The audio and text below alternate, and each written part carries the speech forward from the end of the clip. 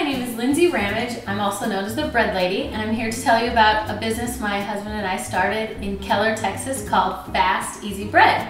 We teach people how to make bread, start to eating in 60 minutes or less. And you take this dough and turn it into so many different delicious things. We've got pizza to show you how to make, and cinnamon rolls, and monkey bread.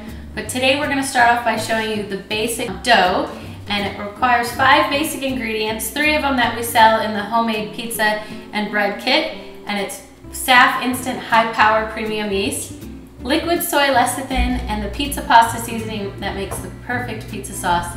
But before we get started, I need to remember to put on my apron to keep myself clean. We sell these aprons on fasteasybread.com. I love this one, the Paisleys. Our mannequin's wearing the green polka dotted one, but if you check us out on fasteasybread.com, you'll see lots of choices. We've got aprons and rolling pins, but we also have the kit. And this kit will make 22 batches of dough that you can turn into 44 loaves of bread, 44 pizzas, cinnamon rolls for everyone. But we are gonna show you the basic bread dough and we need to preheat the oven to 350 and get started.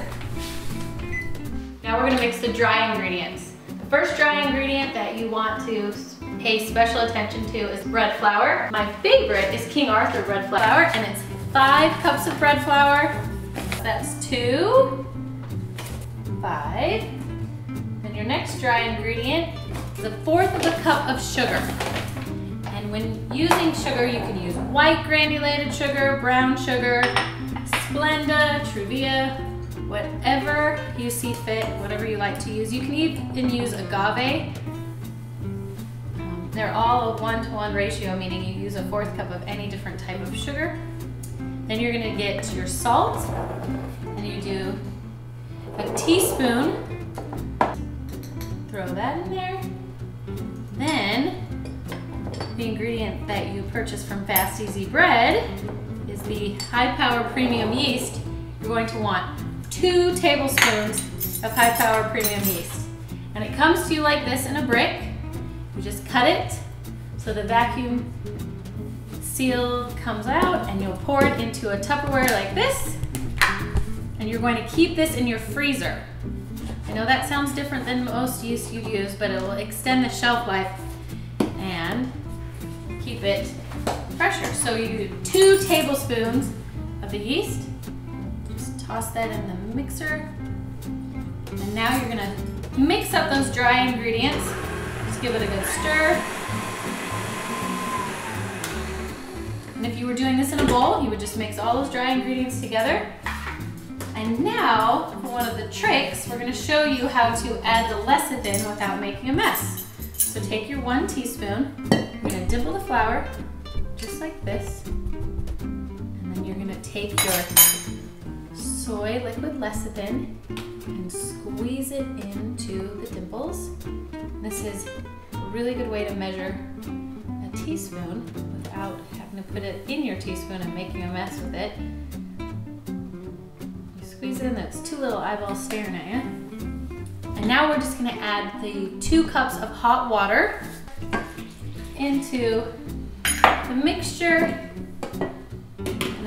starts to mix, you'll see that you'll have some reserve flour. So I'm gonna grab a little bit more water. It's about a fourth of a cup more of water. Depending on where you are in your climate, if it's really dry, you're gonna wanna sprinkle it around the edges just so the flour doesn't start puffing up too much. But the point of this is to get it so it's no flours left in the bowl and you're trying to get it so you can hear this sticky noise and it's the dough pulling itself off the bowl. Just a little bit more. You can hear that once it's sticky like that.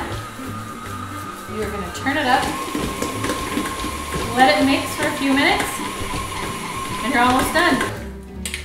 Get it out and shape it into your loaf of bread. Spray a circle of cooking spray.